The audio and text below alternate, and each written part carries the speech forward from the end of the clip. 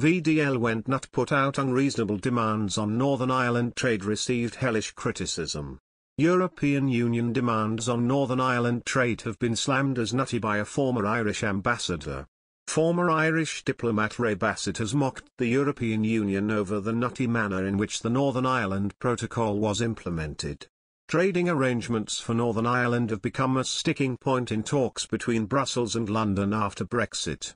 While Brussels claimed to be protecting the integrity of the EU single market from goods entering the Republic of Ireland, Mr Bassett said that the protocol had been interpreted in a very pedantic way. Mr Bassett said, now, quite clearly the European Union implemented the protocol in a way which I don't think even the Irish government expected. It was very pedantic, they went for a maximalist position. Some of the regulations are just nutty. You know, Sainsbury's, Sainsbury's has stores in Northern Ireland, they don't have them in the south.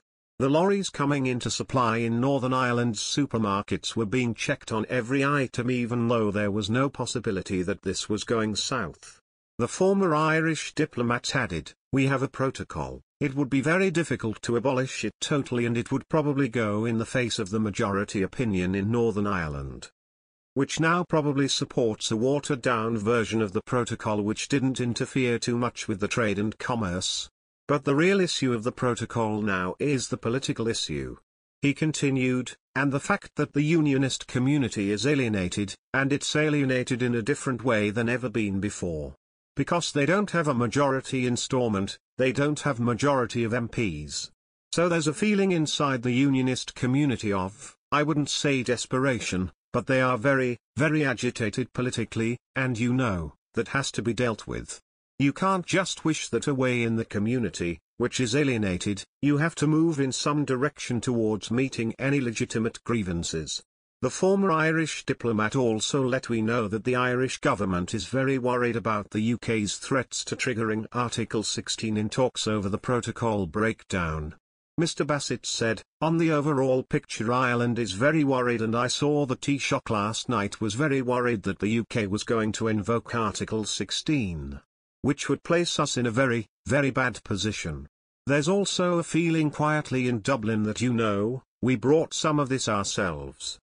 On another ECAP news, there was slow progress on the Northern Ireland Protocol talks last week as Brexit Minister Lord Frost reported the progress had been limited with the gap between the UK and EU significant. Frost said there was some convergence on the issue of medicines, where the EU has offered concessions to safeguard the movement of drugs from GB to NE, adding that the details were still being considered.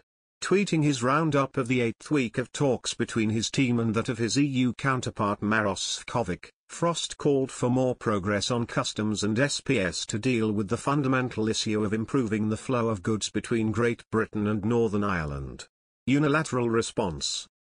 The EU has said it could act unilaterally to ensure medicines continue to flow into NE which some drugs companies have said they will no longer supply due to costly dual licensing requirements that are an outcome of the protocol.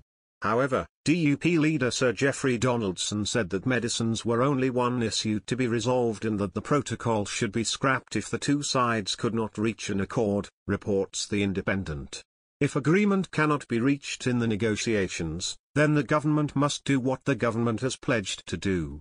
That is to take the action that is necessary to fully restore Northern Ireland's place within the UK internal market, and to remove the Irish Sea Customs border on goods moving from Great Britain to Northern Ireland, he said. Public and MPs at odds. As a result of the protocol, NE remains in the EU's single market for goods while also staying part of UK customs territory. This dual status allows goods to flow to and from NE to the Republic of Ireland and the rest of the EU as they did while the UK was a member of the EU that is, without customs checks or tariffs. New research shows that a majority of people in NE think that the protocol is good for the province, reports the New Statesman. The study, by UK in a Changing Europe, found that more than half, 53%, think the protocol is appropriate, and 52% think it on balance good for NE, and 41% disagreeing, with 7% undecided. MPs in Northern Ireland have a more negative attitude, with 59% of Labour MPs and 53% of Conservatives thinking that it was not good for me. And of Conservatives